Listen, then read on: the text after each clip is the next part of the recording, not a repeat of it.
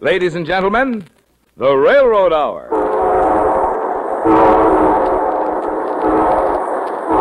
And here comes our star studded show train.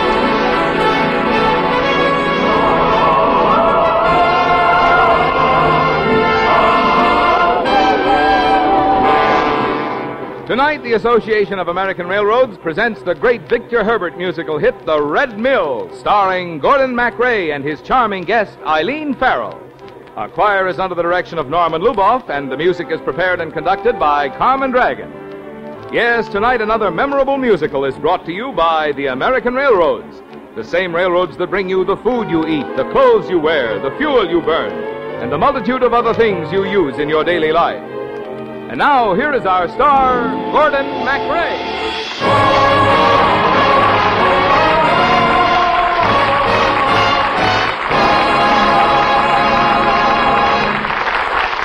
Thank you, Marvin Miller, and good evening, ladies and gentlemen. On stage tonight is one of the happiest shows ever to hit Broadway The Red Mill.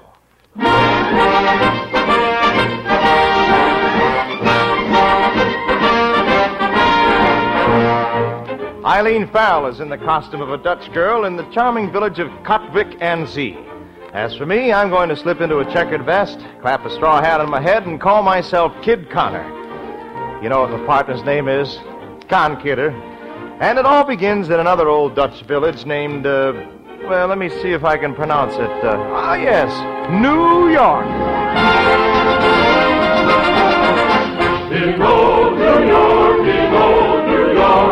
York, the peach crops always fine. They're sweet and fair, and on the square, the maids of Manhattan for mine. You cannot see in gay Paris, in London, or in Cork. The Queen to me on any street in old New York. Say, Con, what, what do you want to go to Europe for? Romance, boy, romance. The European girls be crazy about Oh, ah, no, wait a minute, not so fast. You know, there are plenty of lovely dishes right here in the good old USA. If a spare afternoon you should happen to have and you start on a leisurely stroll up Fifth Avenue, there is where with haughty air you'll see them as they walk. Velvets and laces and sables and folding them, really you'll nearly drop dead on beholding them. Lucky's the earl who can marry a girl from Fifth Avenue, New York. In old New York, in old New York, the peach crop's always fine. They're sweet and fair, and on the square, the maids of Manhattan for mine. You cannot see in gay Paris, in London, or in Cork. The queens you'll meet on any street in old New York.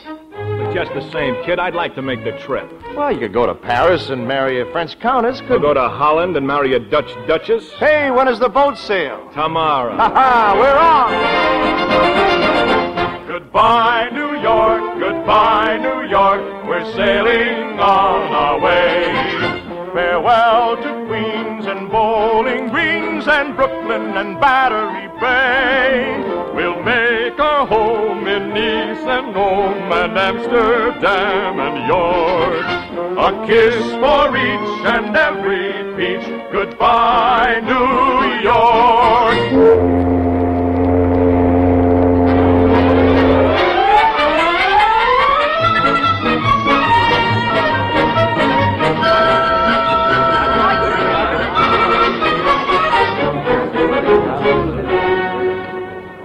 So this is Holland. Hiya, Holland. Hey, uh, Con, we gotta find a place to sleep tonight. It's got to be cheap sleep. We're broke. Yeah.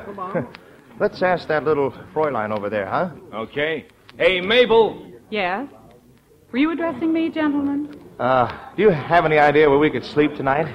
Well, I really don't know. Well, how about that red mill? I bet it's real warm and comfortable. Oh, yes. Very cozy. You two and the ghost. You mean the mill is haunted? Every night at midnight, the ghost of a poor, unhappy bride walks through the mill, searching for her lost lover, Hendrik. Thank you and good night, Red Mill. Uh, what's your name? Gretchen. Well, why do you look so wretched, wretched? Well, tomorrow's my wedding day. And tomorrow, by this time, I'll be the wife of the fat old governor of Zealand. Well, if you don't love him, why marry him? My father's forcing me. Oh, now look, a pretty girl like you shouldn't worry. Of course not. The Rover boys are here. Hey, I got an idea. Yeah? She can't marry the governor of Zealand tomorrow if she marries me right now. Why, you hardly know me. Can you think of a better way to get acquainted? I just don't understand how this has happened so fast. You don't, huh? You haven't seen very many musical comedies, have you, girl? Well, I've been waiting a long time for somebody young and handsome and exciting to come along and sweep me off my feet, so, uh... If you'd say that you loved but me, loved but me, only me, what a paradise life would be.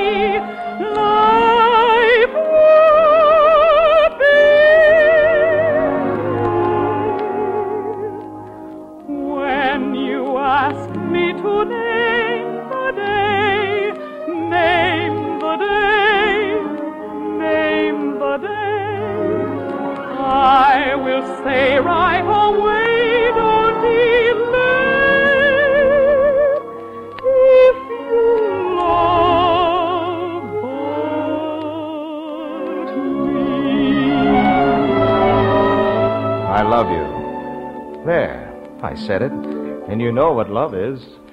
Love is a strange little elfin sprite, blessed with the deadliest aim, shooting his arrows to left and right, bagging the rarest game, filling our hearts with a glad surprise, almost too good to be true. And still, can you tell me why do you love me?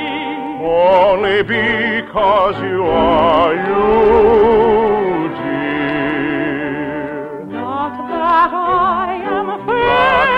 you are fair,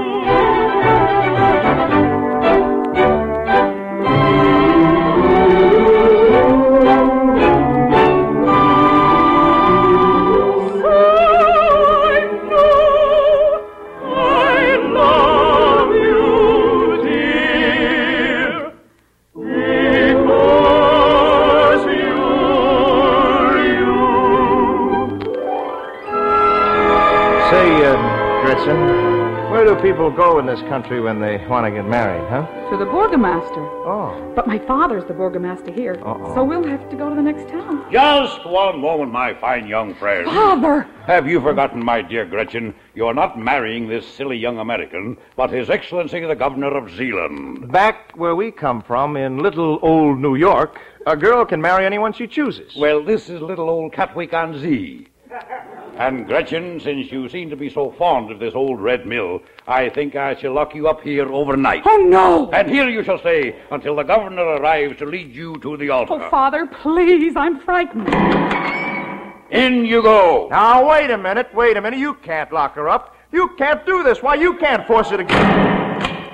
Hmm, I guess he can. Good day, gentlemen. I think I've seen that guy someplace before. Yeah, on a beer mug.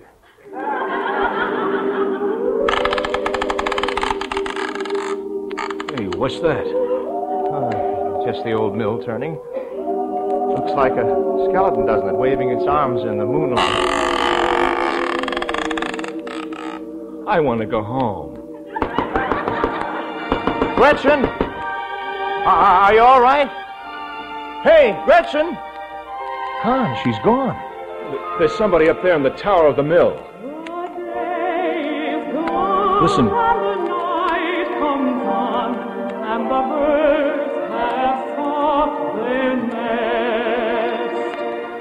The shadows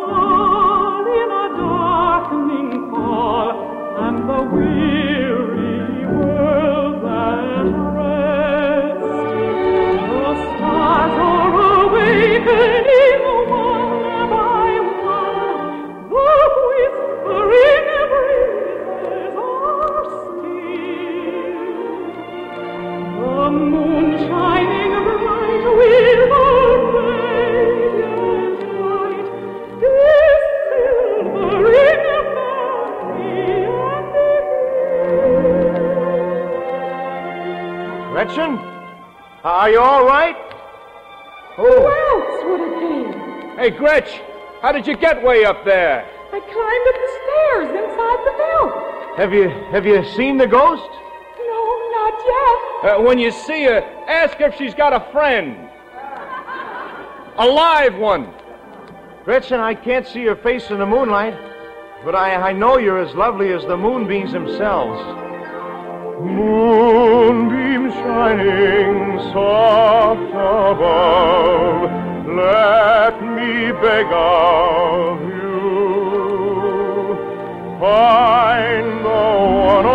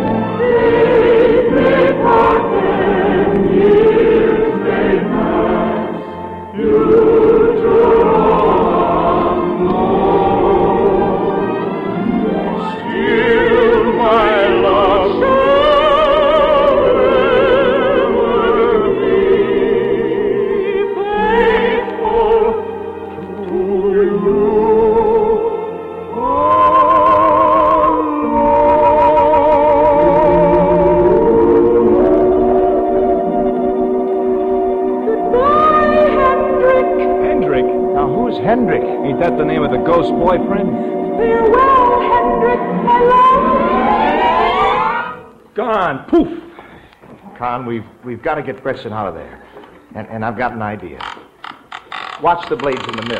Uh huh. Now, suppose you grab hold of one of the wings when it sweeps close to the ground. Uh huh. You hang onto it, swing on up, and rescue Gretchen out of the tower window on the way down. Uh uh Oh, all right then. All right, I'll do it.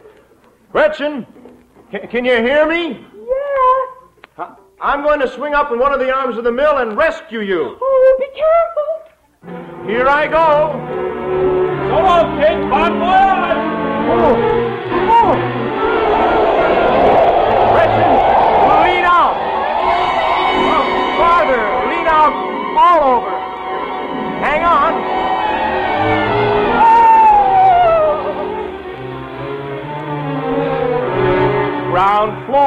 Everybody out. Oh, thank you for getting me out of that awful mill. Now we've got to get away from your father. Let's go to the next town and get married, huh? And I'll stay here and stall the burgomaster. Oh, good, Con. when he locks the door tomorrow morning, he's going to find nothing but echoes inside the old red mill. And when he asks the reason,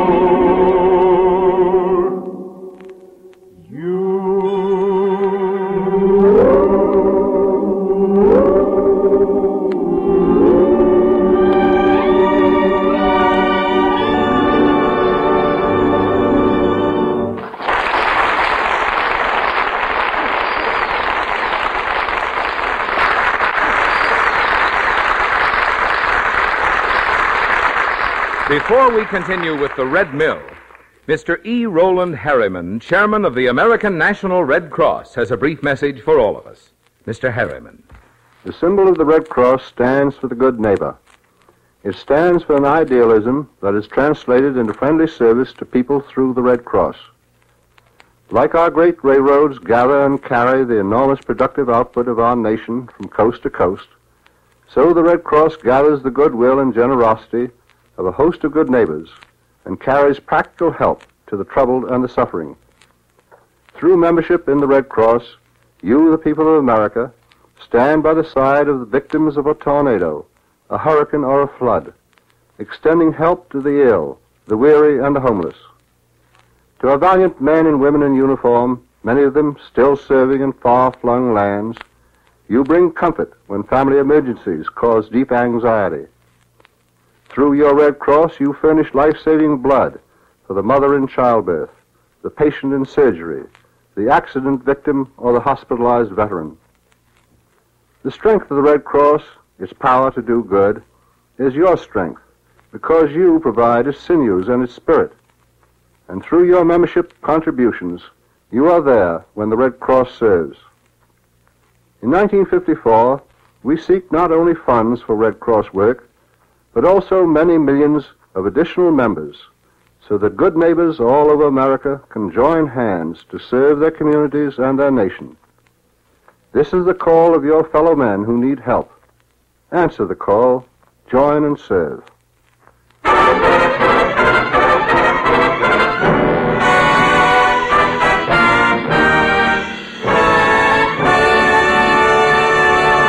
We're ready for Act Two of Victor Herbert's The Red Mill, starring Gordon MacRae and his guest star Eileen Farrell, with Jack Kirkwood as the burgomaster and Peter Leeds as Con.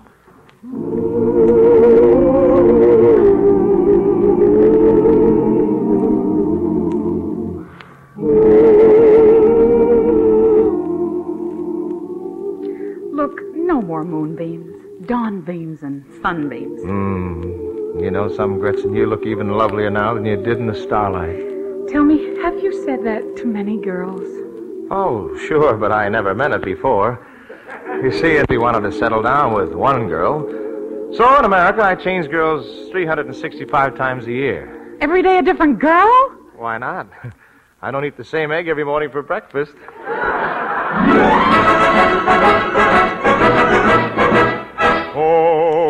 every day is Ladies' Day with me. I'm quite at their disposal all the while. And my pleasure it is double if they come to me in trouble, for I always find a way to make them smile. The little darlings. No doubt I should have married long ago. It's the proper thing to do, you'll all agree. But I never could find any fun in wasting all my time on one. So every day is Ladies' Day with me. It's a frightful thing to think of all the hearts that I have broken, although each one fell in love with me without the slightest token. Though among my vulgar creditors I'm fearfully in debt, it's because I have afforded anything that I could get. But I must say I've enjoyed the best of what there is in life. I've been lucky in my love affairs. I've never had a wife. And I don't begrudge the little dears those necklaces of pearls. All the money that I've ever saved is what I've spent on girls.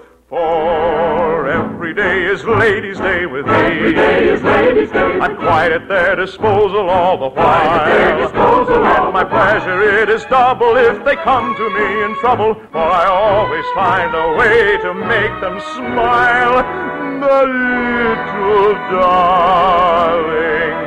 No doubt I should have married long ago. Yes, you should have married long It's the proper thing to do, you'll all agree. the thing to do, you'll all But I never could find any fun in wasting all my time on one. So every day is Ladies' Day with me. Every day is Ladies' Day. So every day is Ladies' Day with me.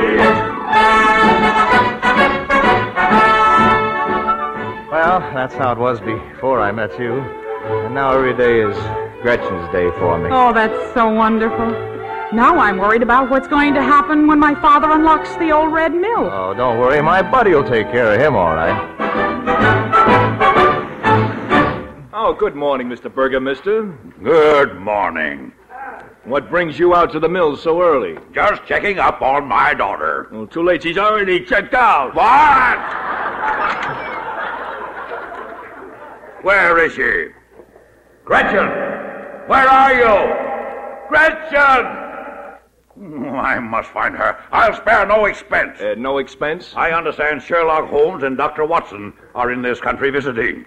I believe I'll hire them. Well, let me get them for you. I'll get Holmes and Watson on this job for you right away.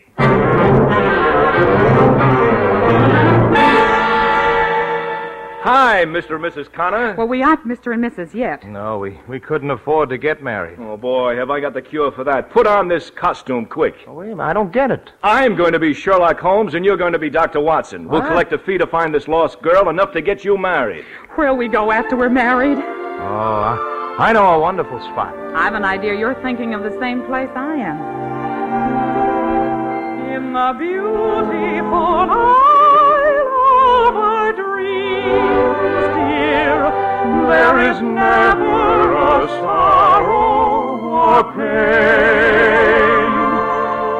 trouble and care quickly vanishes there, and all is made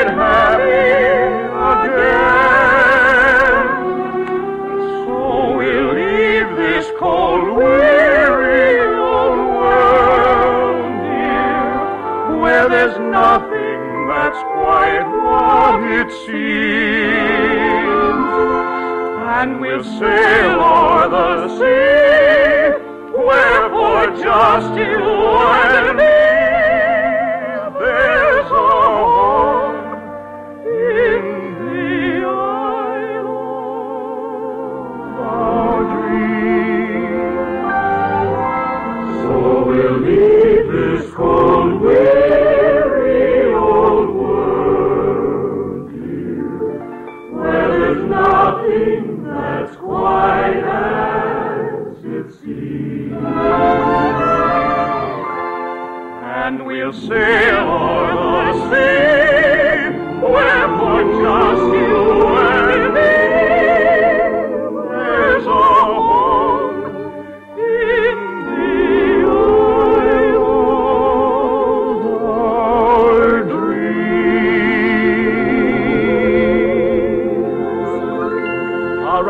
right, already. You can stop being Romeo and start being Dr. Watson.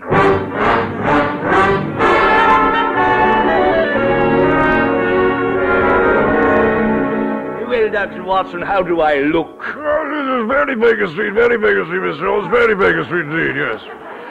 Gentlemen. Aha! You are the burgomaster of Catwick Anzee. Hmm, Well, that's amazing. How did you know me, Mr. Holmes? Well, elementary, my dear burgomaster, elementary. I want you to meet my eminent colleague, the celebrated Dr. Watson.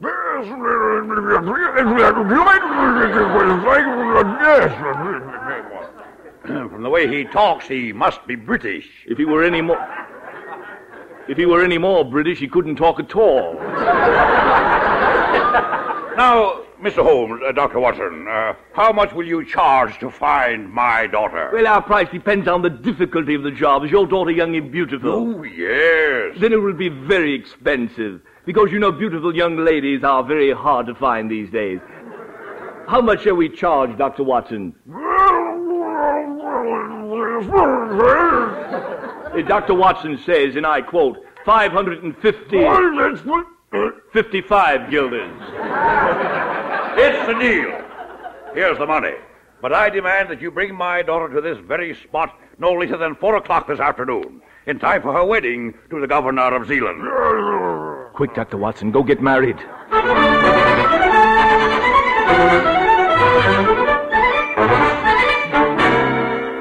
Mr. Holmes, in 15 seconds it will be four o'clock. If you don't produce my daughter by then, I'll have you thrown in jail. Uh, Mr. Burgomaster, I don't think you like me. Your time is up, you swindler. Just a minute. Listen.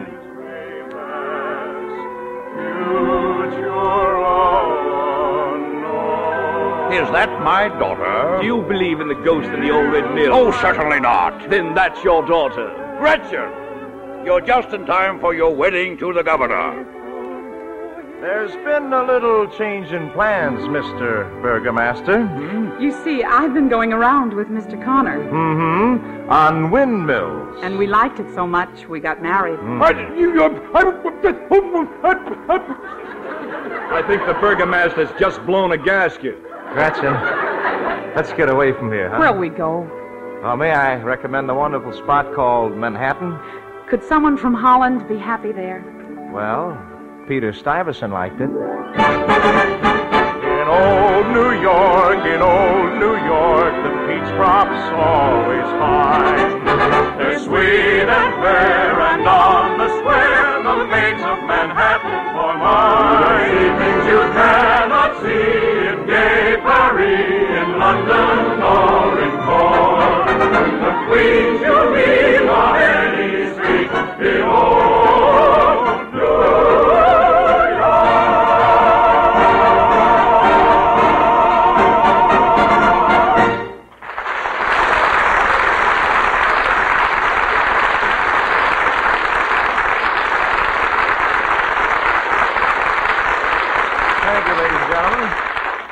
Farrell will be back in just one moment. Meanwhile, our thanks to Jack Kirkwood, Peter Leeds, and our entire company. The Red Mill, with music by Victor Herbert and book and lyrics by Henry Blossom, was dramatized for the Railroad Hour by Lawrence and Lee. The Railroad Hour is brought to you each week at this same time by the American Railroads. Marvin? Who is the busiest, most useful citizen in your community? Well, chances are you couldn't make a better nomination than your railroad. Like you and your family, every citizen, businessman, merchant, manufacturer, and farmer depends on the railroads to supply his essential transportation needs. Yes, and your railroad is not only a busy and useful citizen, it's a good citizen, a good neighbor, interested in local and civic affairs, active taxpayers and employers, important purchasers of the things your town sells. The railroads that serve you are, in every sense, one of the most valuable contributors to the welfare of your community, as they are to the nation as a whole. Thank you, Marvin. And now, here again, ladies and gentlemen, is the enchanting Miss Eileen Farrell.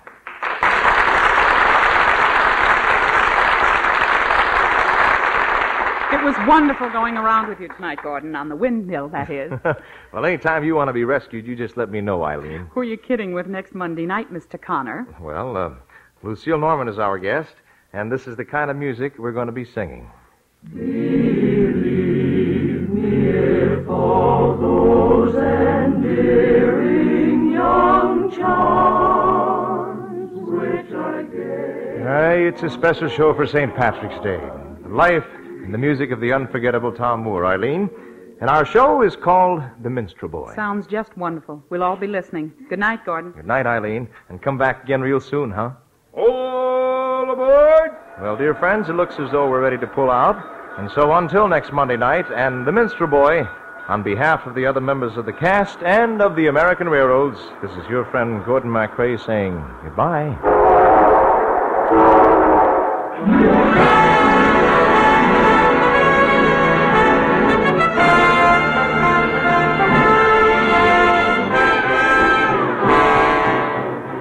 Mill was presented by special arrangement with the Tams Witmark Music Library. Gordon MacRae can be seen starring in Three Sailors and a Girl in Technicolor. Our choir is under the direction of Norman Luboff, and our music is prepared and conducted by Carmen Dragon. This is Marvin Miller saying goodbye until next week for the American Railroads. Now keep tuned for your Monday night of music on NBC.